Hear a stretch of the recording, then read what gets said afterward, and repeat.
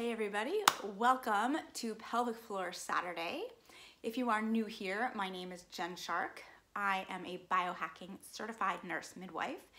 On my channel on Saturdays, you will find pelvic floor exercises like these ones. And on Wednesdays, you will find midlife biohack. So if you are a midlife woman like me, you might find this stuff interesting. If you are a new mom or a midlife woman or for whatever reason have pelvic floor dysfunction, you also may find some of this interesting. So if one or both of those topics is an interesting topic to you, please hit the subscribe button and tell your friends because the more pelvic floor dysfunction that we can improve with simple free exercises, the happier I will be. So please, please, please share with anyone who might need it. Today, we're gonna focus on planks. Everybody hates planks, but for the next two weeks after this, a plank is going to be an essential part of the exercise. So I am going to give you three basic planks depending on your core strength. And we're just gonna go over form and breath and using your contraction in the pelvic floor and your transverse abdominis to help keep you stable during the plank. So go ahead, grab your yoga mat or just get set up and let's get started.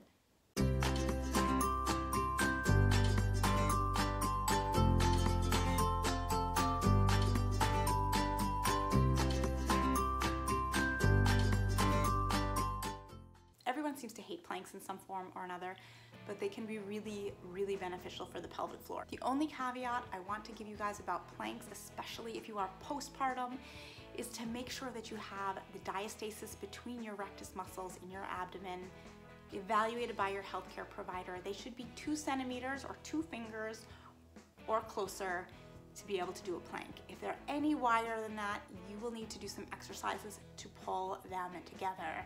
And if that's something that you would like me to review, I definitely have several exercises that can be really helpful for that. So just comment down below so that I know that that's something that interests you. Just say, please, yes, rectus abdominis or DR exercises, and I will put some of those together as well for you guys.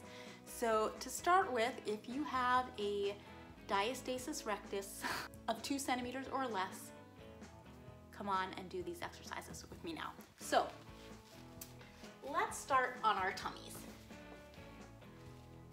Can you tell a mom? So we're just lying on our bellies. We're gonna put our hands underneath our shoulder blades here, and I just have my head turned towards the camera so that the mic will actually catch my voice, but you know, you can have your head straight down like this, okay, if you need to. So I'm gonna put my head down, and we're just gonna come up onto all fours. And as you can see here, I'm not in that regular tabletop position. My knees are actually behind my hips and I'm leaning forward onto my arms. The one thing I do want to do is adjust my arms a little bit here so that my wrists are underneath my shoulders.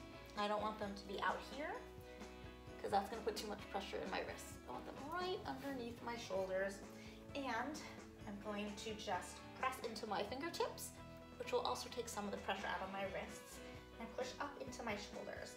And this is a basic beginner's plank you start by just holding it for five seconds. And what you want to do over time is hold it for 30 seconds and then eventually a minute. Once you can hold this plank position for a minute, the next advancement is to cross your knees, or rather cross your feet, and come up onto your knees. You may have to, at this point, adjust out a little bit because we want our shoulders over our wrists. Again, you'll start with this one for about five seconds and move on to a minute. So this is the kind of intermediate. Next, we are going to do a full plank.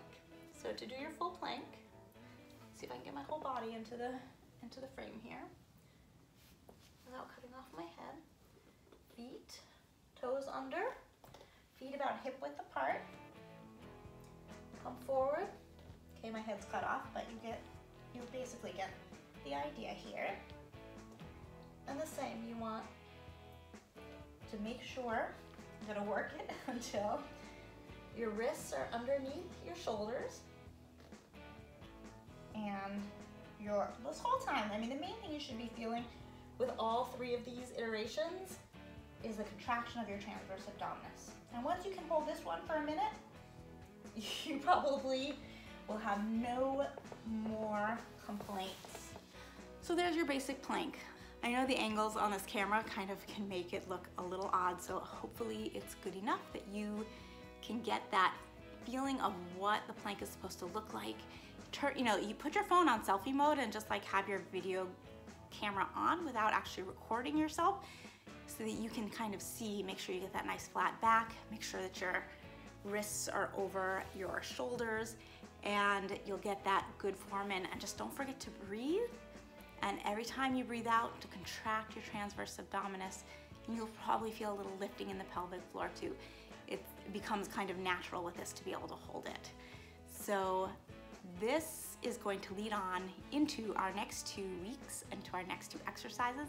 And hopefully this is going to bring you even closer to continence if you're not there already. And if you're there already and are just using these to kind of shore up your, your core and your pelvic floor, stick with me. We'll get through it all together. So have a great Saturday, everyone. I will see you next week. And if you are coming back for our midlife biohacks, I will see you on Wednesday.